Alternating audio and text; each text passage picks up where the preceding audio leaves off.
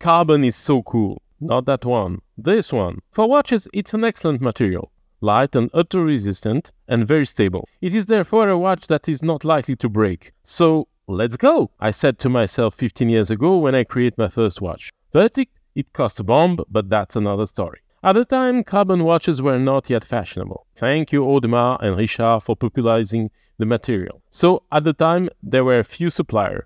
It was expensive and you had to beg, cry, scream, cry and wait. Indeed, carbon is a chosen mixture of resin and carbon nanotubes or fibers or whatever you want. And in this case, the one I wanted was this. Tired of my unsuccessful experiments and went back to the kitchen to concoct my own cookie recipe. In short, we choose our ingredients and we adjust the dosage. We press and we heat. That's broadly. In detail, it took me almost a year to make my Oreos.